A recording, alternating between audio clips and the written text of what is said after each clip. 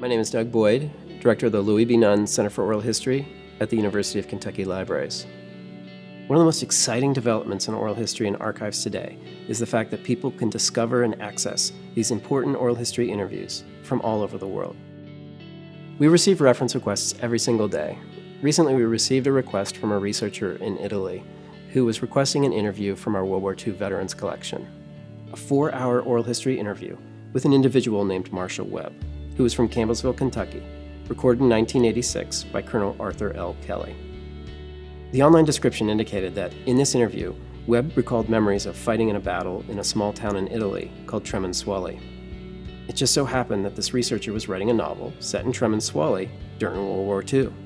And the, and the little town is called? Tremensuoli. That's where we were at for roughly three months. Mhm. We, we pushed off from Tremensuoli, and at that time, I was a scout. Mission accomplished. We connected this researcher with this important interview. But we soon learned that this was no ordinary reference request.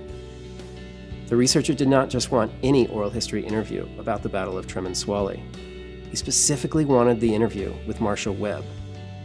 Because on March 30th, 1944, Marshall Webb from Campbellsville, Kentucky, off fighting in a small town in Italy, half a world from home, carved his name on a wall in an alley in Tremensuoli, Italy. This researcher had discovered a mysterious name and date carved in a wall by an American soldier in 1944. We were able to connect this researcher to a recorded voice, to a meaningful life story.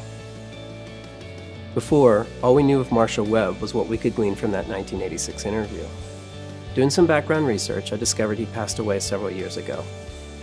But I was able to connect with Opal Webb, his widow. I drove down to Campbellsville, Kentucky, and I got to spend the day with Opal and two of their children. They brought his photographs and papers, told many touching stories. One thing we talked a lot about was Marshall Webb's poetry. During the 1986 interview, Marshall Webb actually read a poem that he had written, coincidentally, about the Battle of Tremensuoli. Somewhere in Italy, on the 11th of May, we waited for our orders one cool, cloudy day. As I knelt down by my buddy, he knew it was his time. Thank God we won our victory. We hold the Gustav line. You can talk of all your battles, and history it will tell, but the one fought at Tremensuoli was sure a bloody hell. The family shared with me more than 80 handwritten poems that Marshall had written during the war.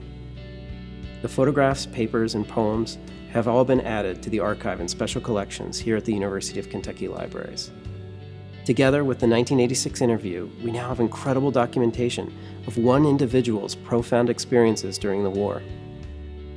How many people have walked past the carving of Mr. Webb's name in Tremensuoli since that day in 1944?